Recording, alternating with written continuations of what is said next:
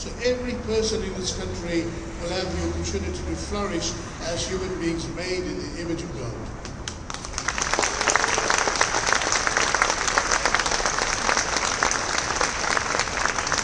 So thank you.